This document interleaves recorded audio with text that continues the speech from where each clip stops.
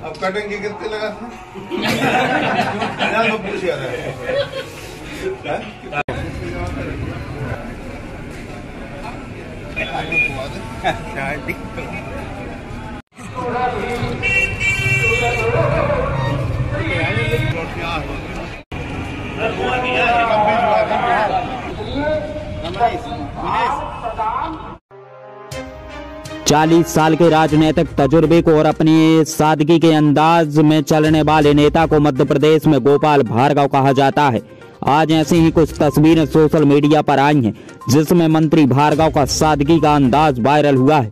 खबर मध्य प्रदेश के सागर ज़िले के रहली विधानसभा क्षेत्र के सायपुर से जुड़ा है, जहाँ पर कथा सुनने के लिए मंत्री भार्गव पहुँचे थे और फिर कथा के दौरान सायपुर के कुछ लोगों ने आग्रह किया तो मंत्री भार्गव उनके आग्रह पर बाज़ार में दुकानों पर चले गए, जहाँ पर उन्होंने किसी की दुकान पर चाय पी तो कहीं पर पान खाया।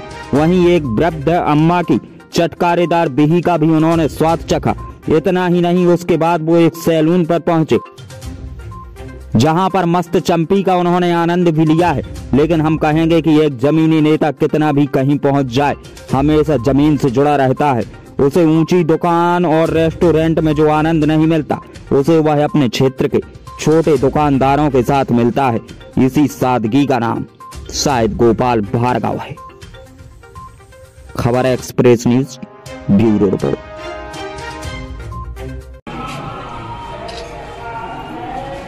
अब कटेंगे कितने लगा? था